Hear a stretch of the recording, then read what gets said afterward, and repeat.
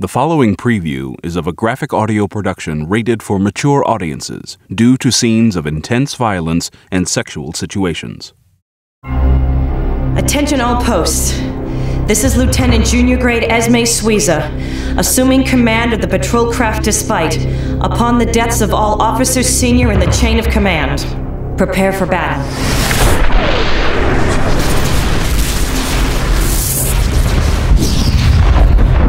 Because of the mutiny against the traitorous captain of her ship, Lieutenant Suiza has greatness thrust upon her. But with success comes consequences. It is my duty to inform you that you have all been called before a court. The junior lieutenants can expect to see charges of both treason and mutiny. Were you a conspirator intending to commit a mutiny? Were you a traitor in the pay of a foreign power? And you never heard anything of a plot to mutiny against Captain Hearn?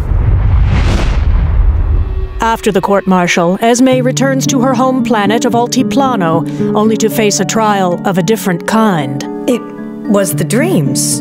Just the fever. They said something I'd caught when I ran away. Well, your father couldn't tell you, could he? He hoped you'd forget the whole thing. Bad enough for it to happen at all, but to have it be one of ours. He lied to me! Vowing never to return, Esmay leaves Altiplano for her next posting. But her reputation, however undeserved, has followed her. Some captains would be concerned about a junior officer who had been involved in a mutiny. Is the captain concerned? I shall expect your loyalty, Lieutenant. Is that clear? Yes, sir. Someone at headquarters really hates me. Serrano Legacy, Book 4, Once a Hero, Part 1. From Graphic Audio.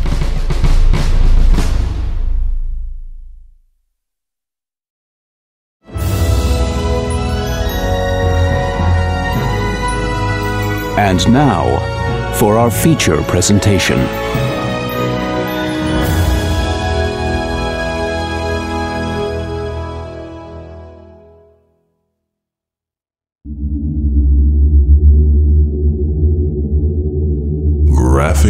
Audio.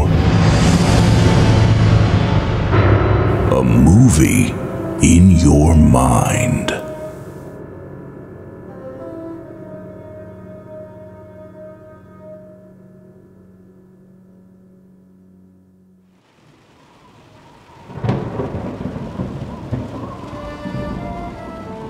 Graphic Audio presents Rogue Angel by Alex Archer.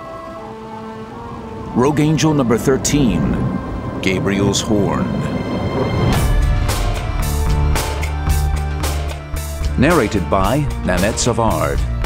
With performances by Colleen Delany, Terence Aselford, Richard Rohan, Jeff Baker, Christopher Graybill, Barbara Pinolini, Peter Stray, Lily Beacon, Michael Glenn, David Coyne, James Lewis, Sunny Lasskey, Jason Stiles, Steven Carpenter, Dylan Lynch, Mort Shelby, James Konicek, Michael Replogle, Ken Jackson, and Chris Rohan.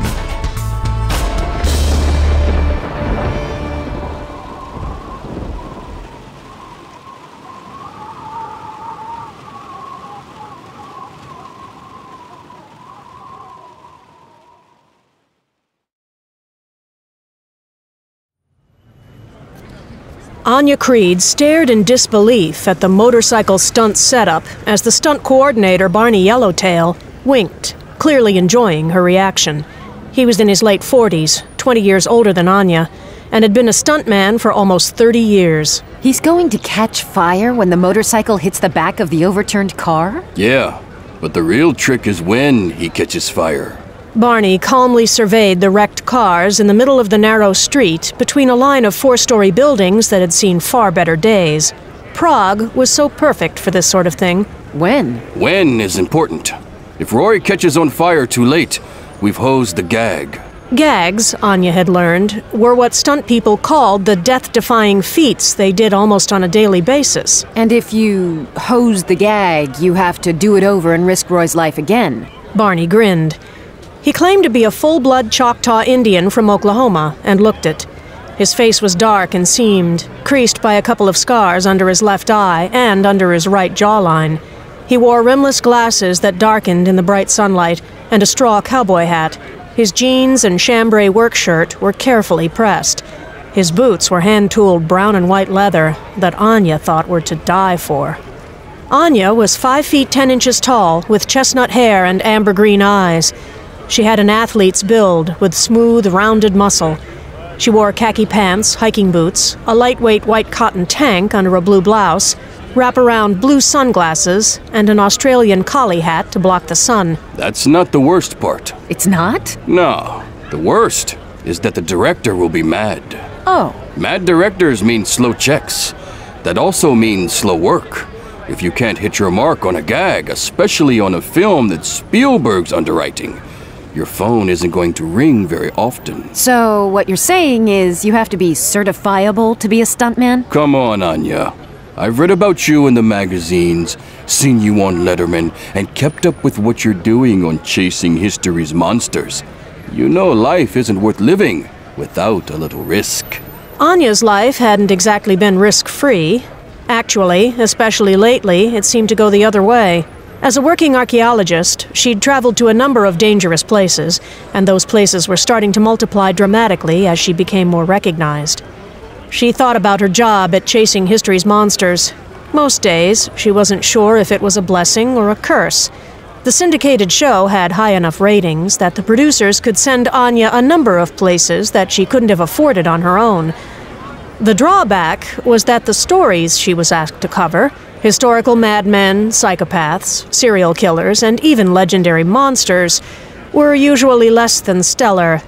Fans of the show couldn't get enough of her, but some of the people in her field of archaeology had grown somewhat leery. None of that, though, had come without risk. Okay, I'll give you that. But I've never set myself on fire. Roy's not going to set himself on fire. I'm going to do that for him. Oh. It's just that timing is critical. Excuse me, I have to get this. Annja nodded as Barney opened his phone and walked off. She surveyed the street. The film crew had barricaded three city blocks in Prague's Old Town. A few streets over, the Vltava River coursed slowly by and carried the river traffic to various destinations. Prague was a new experience for Annja, and she was thoroughly enjoying it. Getting the job on the movie had been as unexpected as it was welcome. She'd done a bit of work with props before, but never on a motion picture of this magnitude. Kill Me Deadly was a new spy romp that was part James Bond and part Jason Bourne. Annja hadn't quite understood the plot because a lot of the details were still under wraps. She was of the impression some of them were still being worked out, which was causing extra stress on the set. Three cars occupied the middle of the street. Two of them were overturned. All of them were black from where they'd been burned. The stuntman was supposed to hit the upright car, catch on fire, and turn into a human comet streaking across the sky. When Annja had heard about the stunt and had received an invitation from Barney to attend, she'd thought about gracefully declining. Then she'd found she couldn't stay away. Now her stomach knotted in anticipation. She'd gotten to know the young daredevil who was about to become a human fireball, he was a nice guy, and she didn't like the idea that something bad might happen to him. Barney stepped back to rejoin her. His gaze remained on the street while he adjusted his headset. Okay, I'm going to need you to stay quiet for a moment, Annja. Sure. Annja gazed down the street anxiously. Camera operators lined the street from various points of view. All of them remained out of each other's line of sight. The crews had worked on the setup for hours. Before that, they'd measured and mapped the distances on a model of the street and the cars. According to the computer programs Barney and the other stunt people had run, everything would go fine. To Annja, it was a lot like exploring a dig site she'd read about.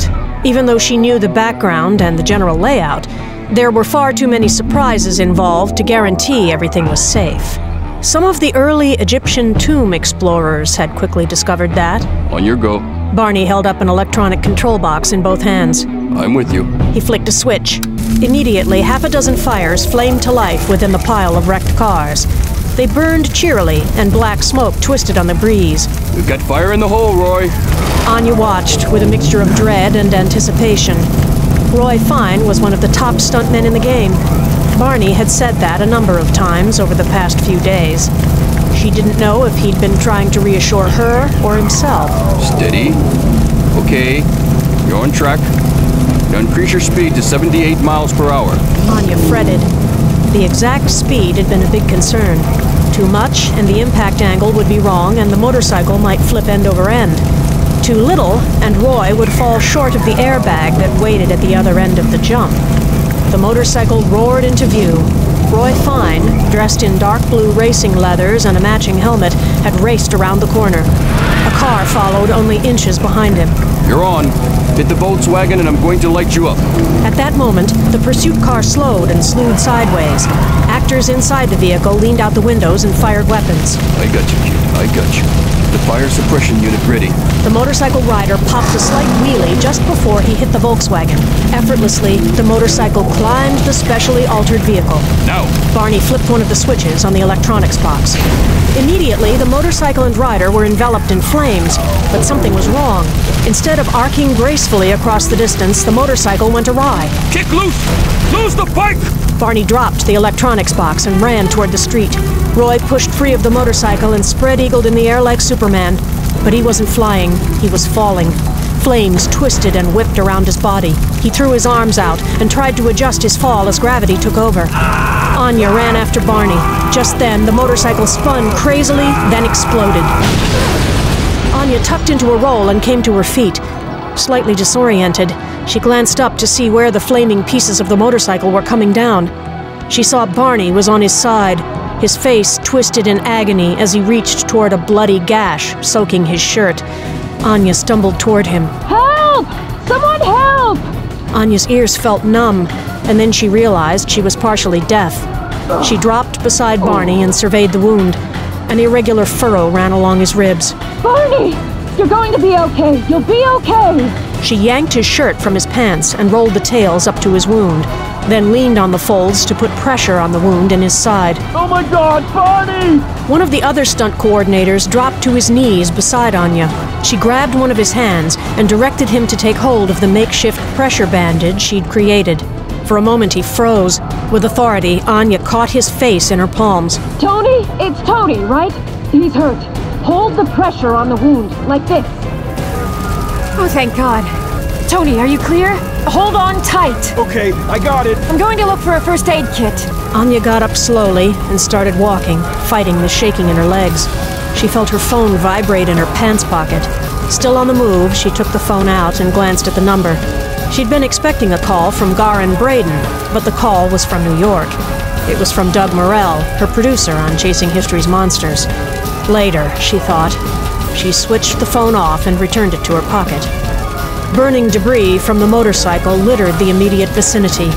Annja looked for Roy Fine's body as fire suppression teams hosed the airbag's surface.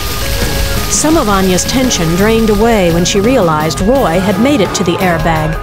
The motorcycle leathers bore scorch marks and charring, but he was standing on his own two feet.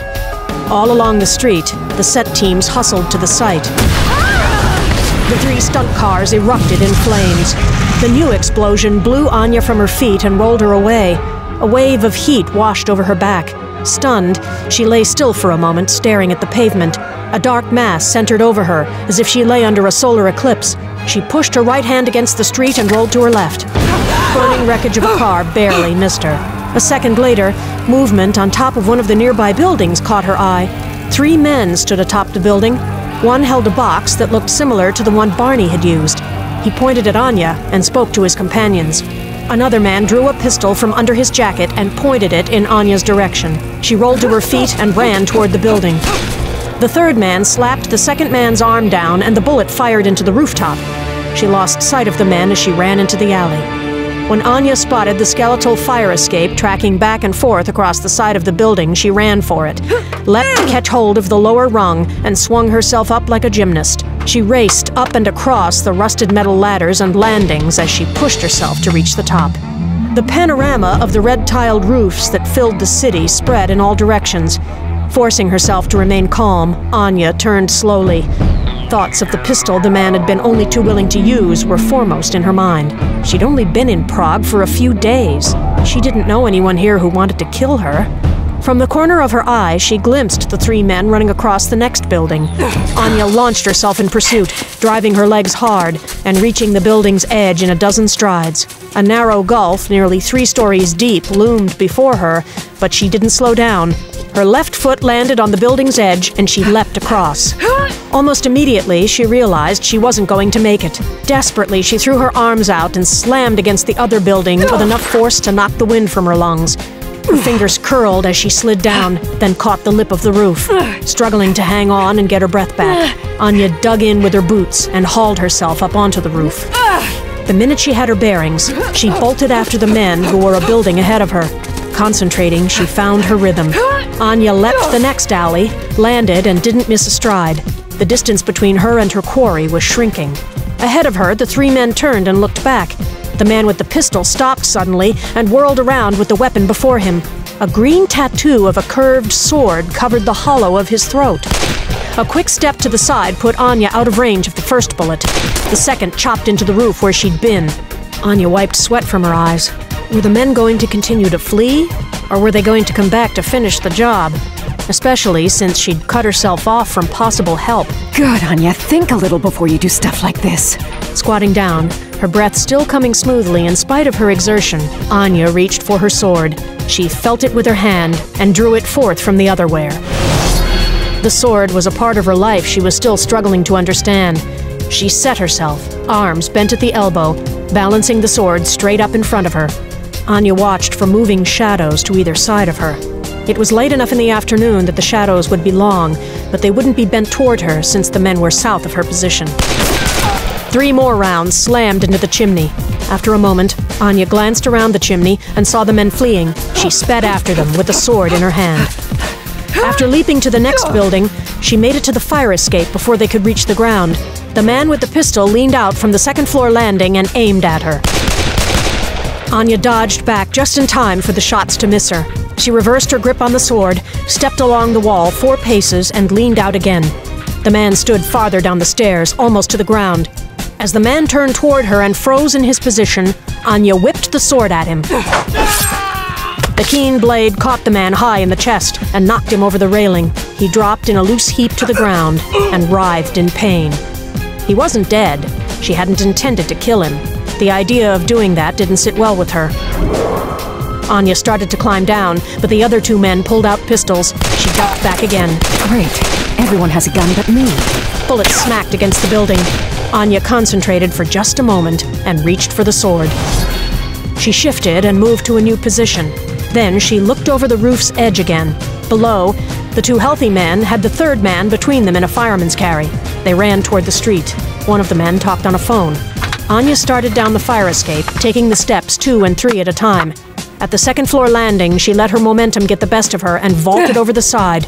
She flipped and landed on her feet, her sword swept back and ready. A dark sedan slammed to a stop near the three fleeing men. The rear door swung open. The two men glanced at Annja, then passed their wounded comrade inside and climbed in after him. Annja ran after them, struggling to read the car's license plate. She willed the sword away and reached for her phone. The rear window sank down smoothly, and the wicked mouth of a submachine pistol jutted out. She dove for cover. Bullets passed over her head and shattered the windows of the clothing store behind her. Glass shards rattled down all around her. She kept her hands and arms wrapped around her head to protect her face. When Annja looked up, the dark sedan was gone. She punched the car's license plate number into her phone's memory and hoped the police would arrive soon. Annja sat on the steps of a building near the movie set. An ambulance attendant treated a cut in her hairline and wiped the blood from her face. She'd been told her hair would hide it, which was reassuring, considering what she knew of Garin's predilection for appearances. She watched the Prague police detective processing what she'd told him. The detective, whose name was Skromak, looked like a patient man. Slight of stature, he exuded an air of competence. His salt and pepper hair needed the attention of a barber, especially his incredibly bushy beard, but his suit was impeccable. You ran after the men, Miss Creed? Yes. Why would you do such a thing? I didn't want the men who did this to get away. You think they did this? Annja nodded at the burning pyre of cars the local fire department was dousing with water. That wasn't supposed to happen. Perhaps it was an overzealous special effects person. No. That blast was deliberately set. For the movie, yes? No. Annja shook her head. The ambulance attendant, a no nonsense woman, grabbed her chin and held her steady. The special effects crew wouldn't make that kind of mistake. They're seasoned professionals. Skromak flipped back through his notes. Annja had seen him questioning movie people while she talked to Barney and Roy. Both of them were banged up, but they were going to be fine. I see here that you're not a special effects person. No. You're here as an archaeologist attached to the film. Yes, but I'm only loosely attached. I'm taking care of the props. I see. Tell me about the props. They're Egyptian. Statues of Bast and Anubis. Were they pharaohs? No, gods. A god and a goddess, to be exact. Bast is an ancient goddess worshipped since the Second Dynasty. About 5,000 years, give or take. Anubis was the god of the underworld. Usually he's shown having the head of a jackal. These statues are valuable. Only to a collector. They aren't actually thousands of years old, but they are a few hundred. A few hundred years seems like a valuable thing. I collect stamps myself, and some of those are worth an incredible amount of money after only a short time. That's generally because they're issued with flaws. This wouldn't be like that. Huh. I see. Someone hosed the gag. Hosed the gag? Sorry, someone sabotaged the stunt. The explosions were no accident. Well, you're no authority. Check with Barney Yellowtail. He'll tell you the same thing. I expect that he would. Especially in light of the fact that he was responsible for the gag, as you put it. Annja looked down, reminding herself not to get angry. The man was just doing his job. If these statues are not so much valuable, why then are you shepherding them? I'm shepherding all of the Egyptian artifacts in this movie.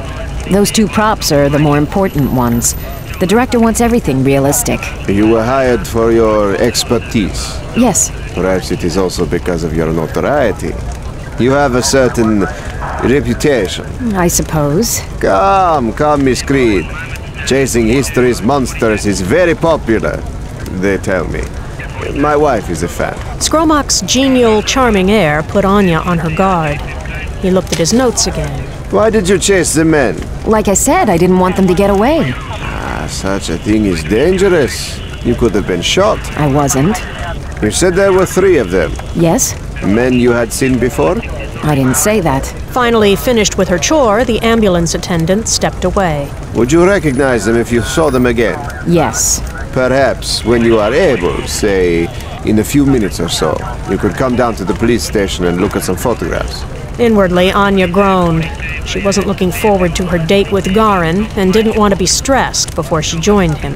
I've got plans for this evening. Ah, we're still hours from evening, Miss Creed. I'd rather you came down voluntarily than me going to the trouble of making my invitation official. Why me? Because you were the only one who chased those men. I gave you the license plate of the car they were in. Unfortunately, that car was stolen this morning. The owner is uh, very distressed. Does the owner have any tattoos? Why do you ask? One of the men had a sword tattooed on his neck. Annja touched her own neck in the place where the man's tattoo had been. Skromak wrote in his notebook. Ah, you didn't mention this before. I just remembered. So, what about the car's owner? Skromak thought for a moment, then flipped back through his notebook. Uh, I see no tattoos, sword or otherwise mentioned. Perhaps I'll go see him, just in case. In the meantime, I'd like to offer you a ride down to the police station. Annja realized she really wasn't going to get out of this. With as much grace as she could muster, she got to her feet and followed Skromak to a waiting police car. She climbed into the back seat. Skromak slid in next to her, shutting the door, and nodded to the driver. So tell me, Miss Creed, what did you do with this sword? Annja fumbled for the seatbelt to cover her reaction. Her heart beat fast and her hands suddenly felt clammy. She tried to relax. No one could find the sword. Only she could call it forth. When she had the seatbelt fastened, she glanced up, face blank. What sword? Policemen working this case canvassed the street where you chased the men. Witnesses said you threw a sword at one of the men and pierced him. Annja held up her hands. No sword. Hmm. They seemed almost adamant, these witnesses. And there was a lot of blood at the scene. One of the men fell. The one with the sword tattoo? I think so. I see. Maybe the man was injured when he fell. Uh, the witnesses said the man had to be carried off. If you or your men can find a sword up there, then I must have had one. Things got confusing very quickly. Mm, they usually do. We also had reports citing the number of men from 2 to 11, although I do not know how 11 men could fit into one car. Eyewitnesses, as every policeman knows, are unreliable at best. Besides, even if you did have a sword, you would only be guilty of self-defense. Yes. If those men were the ones who hosed the gag, as I believe you said? That's right. That's what I said. Hopefully we can find them. Annja hoped so too. Because if they didn't, she had the distinct impression the men might come looking for her again. Annja, you've got to listen to me. You're in Prague. That's almost Romania. They've got vampires in Romania. Therefore, there are vampires in Prague. Seated at the small metal desk she'd been shown to in the police station, Annja stared glumly at the page of photographs of known criminals operating in Prague. Actually, she'd looked at so many pictures of criminals now that she believed Skromak had borrowed books from other countries. After a while, they all started to look the same. There were some who were old and some who were younger, but they all had earmarks of desperation or deviance. She wondered if her best friend, Bart McGilly, the NYPD detective, ever noticed the same phenomenon. In the middle of it all, Doug Morell had called with a new show idea, and she just couldn't seem to get him off this vampire kick. Annja glanced at her watch. It was after five. Dinner was at eight. Cranky, she realized she was going to have to rush to get ready. She hadn't wanted to rush. This was a date. More than that, it was a date with Garin Braden, a man she knew she couldn't trust. And how did you dress for something like that? It was a question that had been plaguing her for weeks, ever since Garin had told her that it was time for her to pay off on her promise to have dinner with him after he'd helped her out of a dangerous situation in India ages ago. She decided she must have been brain dead to make that deal. At the time, it had seemed reasonable, but now it felt as if she'd made a deal with the devil. That was one thing she was certain of. Garin Braden didn't walk on the side of angels. But what kind of conversation did she expect to have with someone who was seemingly immortal? It was intimidating, and that was a feeling she rarely experienced. Annja, you still there? Yes, Doug. Her head throbbed from studying photographs and trying to deal with Skromak's suspicions about the sword. The police detective had checked in a few times, usually to bring her something to drink, and once to see if she wanted anything to eat. Despite the fact that he'd consigned her to this room and these photographs, he wasn't a bad guy. Don't you see that this is important? Doug, there are no vampires in Prague. There have to be. Doug, vampires don't exist. They hide. No one's as good at hiding as a vampire. Really? I'm telling you, there's a story about vampires in Prague. I'd rather do the one on King Wenceslas that I suggested. This is that sleeping king thing, right? The King in the Mountain, yes. Yeah, yeah, yeah, yeah. Sleeping king, king in the mountain, same diff. Supposed to be called forth from the earth in times of great danger to the world. Did I leave anything out? The legend of King Wenceslas coming back to fight evil is an important part of why I want to do the story. It's been woven into the King Arthur myth. He comes back from the dead? Yes. Why didn't you tell me that before? I did, Doug. I sent research notes. You know I don't look at any of that stuff. This is television. All you need is a good beat line to make anything fly. I like the idea of him coming back from the dead. Kinda spooky, actually. Annja looked around the small office and spotted a picture of Skromak with a woman about his age and three kids two girls and a boy. Didn't they write a song about this guy? I seem to recall you saying something about that. A Christmas carol. Annja tried to will Doug to get to the point. The story about King Wenceslas would be a good one. Yeah, good King Wenceslas, right? Hmm, good King Wenceslas is something something on the feast of Stephen when the snow um something something deep and crisp and even. Yes, sort of. It's um brightly baked the moon at night, though the frost was cool. Well, Oh my god, stop. That's not how it goes. Are you sure? I'm positive. Guy was supposed to be Santa Claus, wasn't he? Not exactly. That's a connection a lot of people make. I have to admit, I like it. You do? Yeah, so this King Wenceslas comes back from the dead. Correct me if I'm wrong. You're wrong. He's not supposed to be dead, just sleeping. Hibernating? Kinda like a vampire? No, no, no, Doug. No. N O, no. Comes back from the dead, wants to wreak havoc on whatever villain is sucking the life out of the world? Kinda sounds vampire-ish to me. No. I like it. I want this story. King Wenceslas wasn't a vampire. Maybe you just haven't dug deeply enough. Maybe his whole vampire nature is still waiting to be discovered. It's not. I mean, can you imagine this? No, I can't. Doug, Wenceslas was not a vampire. He could be. He is a saint. Cool. A vampire that's been sainted. You know what'll really sell this piece, though? I'm afraid to ask. Picture this. We show Wenceslas as a warrior knight. A big sword or axe. Horned helmet like the Vikings wore. Uh, The Vikings didn't wear horned helmets. That's just a perception created by Hollywood. It's wrong. So we see this big knight with a gnarly weapon. Big, burly guy, muscles out to here. And let's make the armor red with a hood. So the Santa Claus connection comes through. Annja didn't even try to interrupt. She'd been through sessions like this with Doug before. It was already too late. A red hood, get it? Then the camera pans in, and Wenceslas grins at us. Only instead of regular teeth, he's got fangs! Ugh. Annja snapped her cell phone closed. There were times when talking to Doug, though she counted him as a friend, was exhausting. She could always claim a dead battery later. She laid the phone beside her notebook computer. While she was looking at the mug shots, she was also searching the archaeological sites for information about the green scimitar tattoo. She felt certain there was something significant about the design. So far, there weren't any responses on the boards. Annja glared at her phone. At first, she was just going to let it go to voicemail, but then she noticed that the number was local to Prague. She scooped up the phone. Hello? You're not at your hotel. I'm fine, thank you for asking, Garin. And you're right. I'm not at my hotel. Just like that, all the trepidation Annja had about the upcoming date slammed into her. Going out with Garin Braden was such a mistake. If she'd had her preference, she'd have kept him as an enemy the way he'd been when they'd first met.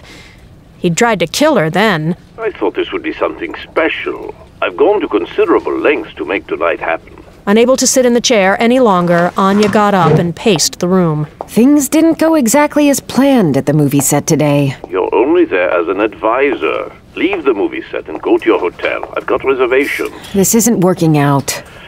Prague was your idea. I would have preferred meeting in the Greek islands. Garin had even offered to send one of his private jets to pick her up in New York, but she'd refused. You could run out of places to go on a Greek island if you wanted to get away from someone. If you're trying to weasel out of our agreement, then that's fine. I've got other things to do. In that instant, Annja saw that she could break the date if she chose. She also realized that Garin sounded as if he had misgivings as well. That possibility irritated her. She knew she was good company, so where was Garin getting off telling her he had other things to do? I'm at the police station. Damn it. What did you do now? I didn't do anything. Some men attacked the movie set today. They planted explosives that nearly killed several people and sent five stunt crewmen and women to the hospital. Maybe you heard about that? No. It was in the news. I wasn't watching the news. What are you doing at the police station? Looking at photographs of potential bombers. Ah, you're giving a statement? One of the local detectives invited me to come down and identify the men who planted the explosives. He hasn't been too amenable about letting me go. Of course, I haven't told him that I was meeting you for dinner.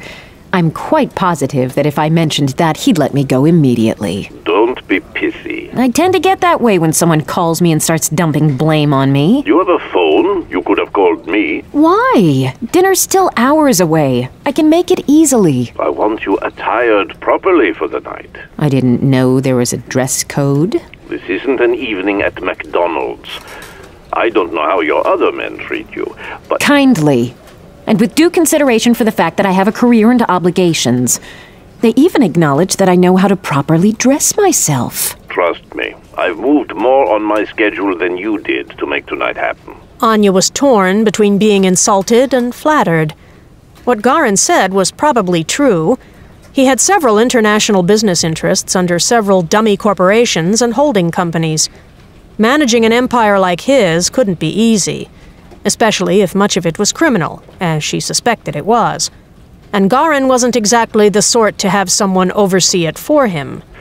You'd be better served if you just told the police that you didn't see the men who did this thing. I chased after them. Well, that was certainly foolish. I didn't want them to get away with what they did. So now you're going to identify them for the police and be a witness at some time consuming trial. I don't want them to get away with this. Then find them and kill them yourself.